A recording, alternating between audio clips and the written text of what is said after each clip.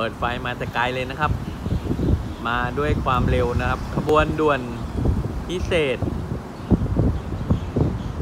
ที่ 43 นะครับ เป็นขบวนดีเซลรางนะครับ ตัวนี้เครื่องยนต์แบบคัมมินนะครับ NTA 855 R1 นะครับ ขนาด 350 แรงม้านะครับกำลังจะผ่านชุมชน บ้านเมงนะครับมาแล้วนะครับ นี่นะครับ ขบวนด่วนพิเศษที่ 43 ต้นทางกรุงเทพ ไปทางสุราษฎร์ธานีนะครับ เป็นรถนั่งปรับอากาศชั้น 2 ทั้งขบวนนะครับ มายังด่วนเลยครับ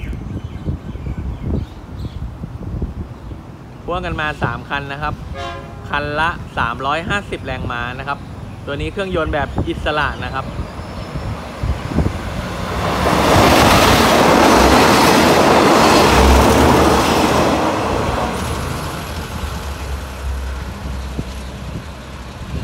นี่นะครับผ่านไปแล้วนะครับ